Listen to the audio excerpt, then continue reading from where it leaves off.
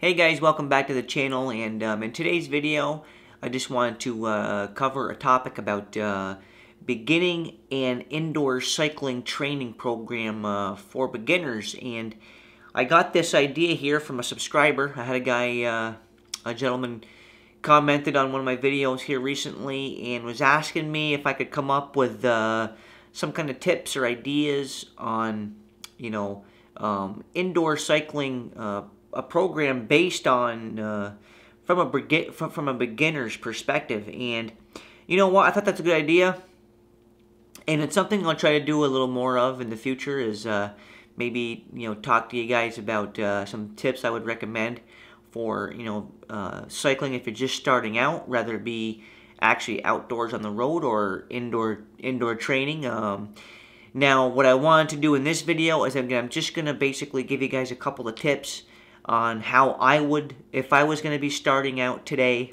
um, having the knowledge I have now, okay, after, you know, three, four years of riding, um, basically using that knowledge, if I could go back in time and start over and have to start over with my training, how I would go about doing that um, to see the best performance and uh, to see the best performance in as little amount of time. Now, basically what I've been learning here, and, and mostly this, I've learned this the last year probably, is that um, when it comes to performance-based cycling, okay, there's really one main metric, uh, one main concept that, you know, all performance is, is, is based around, really. And um, it's a concept called you know, called watts per kilo. And a lot of people don't, a lot of guys don't understand that fully. So I wanted to talk to you guys a little bit more about that also. And I do have a older video here in the channel where I talked a little bit about watts per kilo training and how I would use that. I'm going to do a refresher video for any of the new subscribers who haven't seen that video and target this video based on if I was to if I was just starting out my cycling career, how I would approach that. So basically what watts per kilo is is everybody every every rider every endurance athlete okay has um, every cyclist has what's uh, what's called uh, an FTP or functional threshold power. Basically in layman's terms what FTP is is it is how much power you can throw out for about an hour worth of time if you were you know if you had a gun to your if you had a gun held to your head okay, and your life depended on it, how much power could you throw out for an hour? That's what your FTP is in a, in a nutshell. We all have one. And deciphering what it is at any given time is, isn't easy because you, you really have to push yourself. You have to you have to get good at, at knowing how to push your body to the limits. So establishing your FTP is not easy to do. And I'm I'm just now starting to get a little bit of the hang of it, okay, now that I'm doing the TrainerRoad program. I've been doing TrainerRoad now for, for uh, like, well, for basically like 10 or 11 weeks. I've been doing TrainerRoad, and I tell you what, I'm seeing great results with it. And of course, it's a power-based training program. And now that I've been training with power for so long, um, I have a pretty, I think I have a pretty good handle on where my FTP is. And, but anyways, what it all boils down to is so you take your FTP and you basically just uh, just factor that into how much you weigh. So like for myself, currently I, I would estimate my FTP is, well, I'm riding my TrainerRoad workouts at 275 FTP now. So my FTP is at 275. I can pretty much maintain 275 watts of power for about an hour, okay? And I weigh 125 pounds. So if you take 125 pounds, put that into 275 watts, you get just over 4.8 watts per kilo roughly, okay, is, is what I can produce for power over an hour. So, and basically, if I was to be, if I was going to restart out my training today, start over from zero, from scratch, had no real formalized training, was just getting into the sport, just getting into cycling, the way I would approach my training today, if I was just starting out, is I would go off of watts per kilo um, numbers, but do it from a very, uh, from a very uh, be beginning uh, level.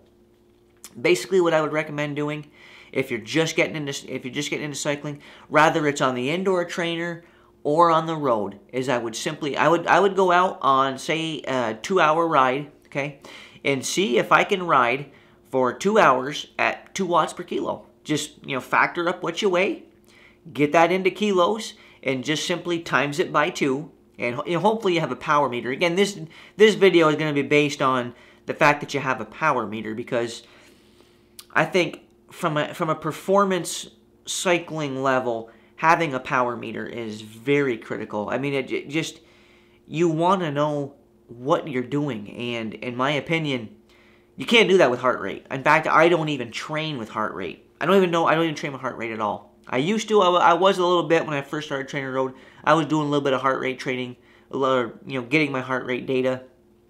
You know what? I, I don't care what my heart rate data is. For me, it's all about power and all about watts per kilo. And so this video is based on the fact that you have a power meter, which is the single most important upgrade you can make to your bike, is getting a power meter so you know what you're doing when you're on the bike. And that's how, that's how you track your progress. You know, hey, I did this last week. I'm doing this today. My goal is to do this next week. That's how you track progress is with a power meter. And it's really the only true way to track your progress is with a power meter. So you've got a power meter on your bike. You're just starting out.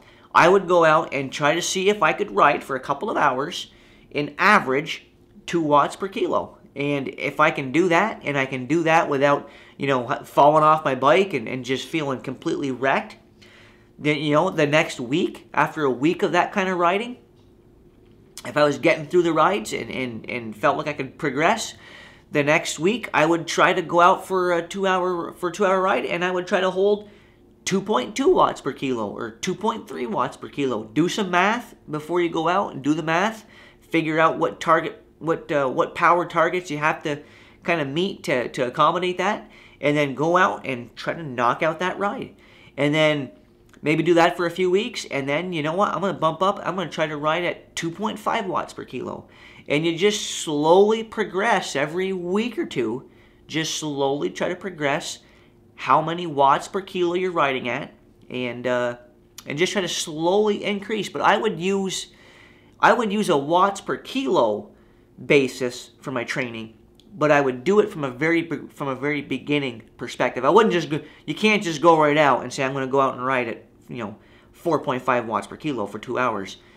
You know, you, you it, it takes training to build that up, and I'm just now, and I've I've been training pretty hard uh, you know, for the last year. I've been training really hard, and uh, I'm just now, you know, getting to that, you know, to that 4.7, 4.8 range, and it's tough. It's it's brutal, very hard. But I think if you just kind of start out from a very low manageable number, I think any cyclist, even a beginner, I think any cyclist or any any athlete who's in even just normal shape, normal physical condition, can go out and can ride at 2 watts per kilo. Okay, so start there. Start at 2 watts per kilo. Start at 1.5 watts per kilo if you have to, but start at a low manageable number and just slowly work your way up every couple of weeks. And before you know it, you're going to be riding at 4 watts per kilo, 4 plus watts per kilo, and you're going to be hammering out there on your group rides and your, your, your, races. So that's how I would uh, target training now if I was just starting out. I would use a watts per kilo basis and I would just start out very conservatively and I would just slowly build up over time and uh, slowly progress. Now keep in mind you also would have to kind of factor in your recovery.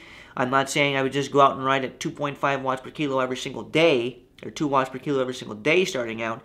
You know, you want to you want to give yourself you know a couple of rest days a week, at least one. I like to take one day completely off the bike, completely off doing anything, just focusing on recovery one day a week do nothing but recover.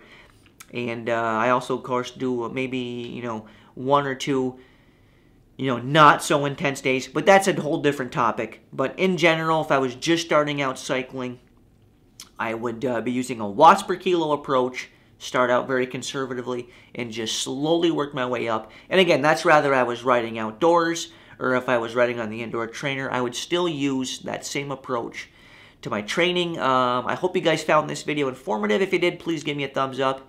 And as always, I look forward to seeing you guys right back here in the next video.